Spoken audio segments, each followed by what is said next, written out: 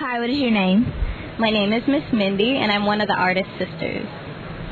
Okay, and I'm going to ask you three questions, and the first one is, who are the heroes in your life?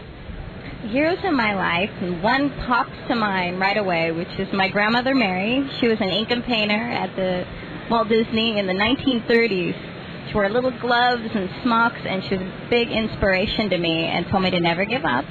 And uh, we play a little game called Cootie together, and I would draw with her, and, and if I'd screw up and get frustrated, she would tell me to just keep going and not to lose faith, and it'll be fun. And the second question is, who are the heroes that don't get the credit they deserve? Uh, definitely the young heroes. There's always a big guy with the tights and flying around, and that's good. That's good for for everyone.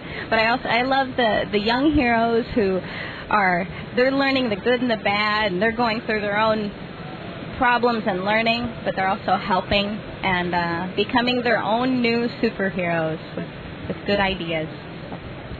And the third question is, which hero, which how do how do heroes become heroes?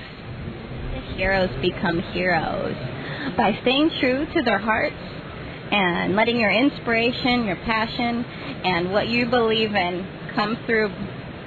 Just block out all of the little naysayers, and your strength and positivity will come through. And that's it. Thank you. You're welcome.